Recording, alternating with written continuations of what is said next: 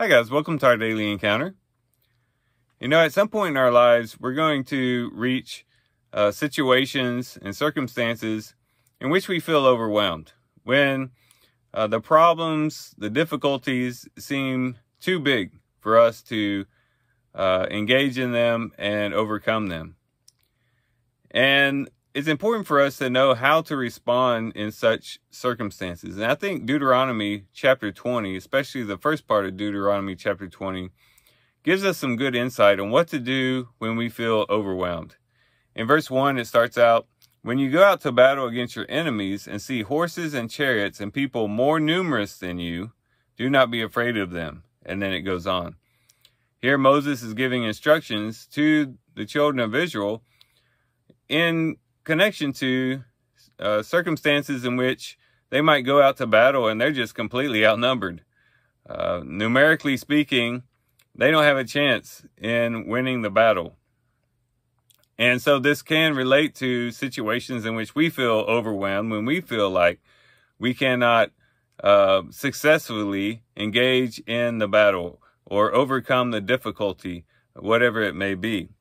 But there's uh, three things that they need to remember, and there's three things that we can remember uh, in times in which we feel overwhelmed. And the first thing that is brought out is that God was going to be with them. It says, uh, For the Lord your God, who brought you from the land of Egypt, is with you. And that's something that can encourage us as well. It would encourage them when they go out to battle, even when they're outnumbered, to remember that God is with them. And if God is with them, they're never outnumbered. And the same thing is true with us as well. When God is with us, and He is always with us, there is no challenge too big for God. If He is with us, He can carry us through and bring us to the other side of that difficult situation that we find ourselves in. The second thing is, is that we need people in our lives who can cheer us on. We need cheerleaders in our lives who can encourage us when it comes to these various situations. Uh, it says, in verse 3, uh, I'm sorry, verse 2, it says, When you are approaching the battle, the priest shall come near and speak to the people. Verse 3, He shall say to them, Hear, O Israel, you are approaching the battle against your enemies today.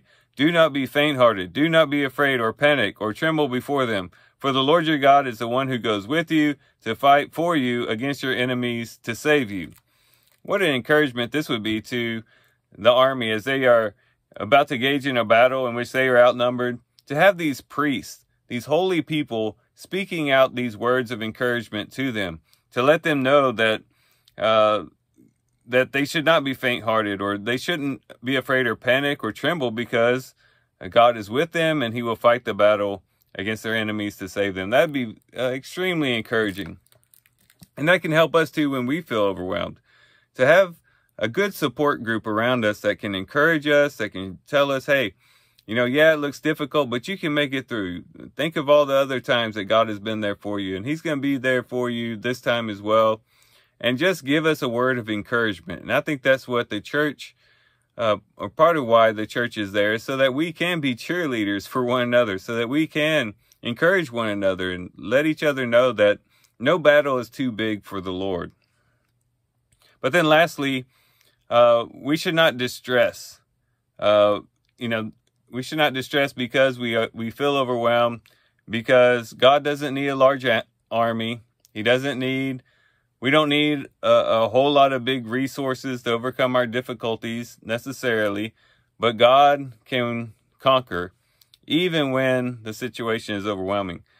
Um, I won't read all of these verses just for time's sake, but as you go on and you read uh, verses 5 through 9, uh, uh, it's almost humorous the way that the the officers were to go to the people and and they're like, hey, you know, if you've built a new house, uh, go home. If you planted a vineyard, hey, go ahead and go home. If you're engaged to a woman and you haven't married her yet, go home. And he says, well, you know what? Even if you're afraid or faint-hearted, go home.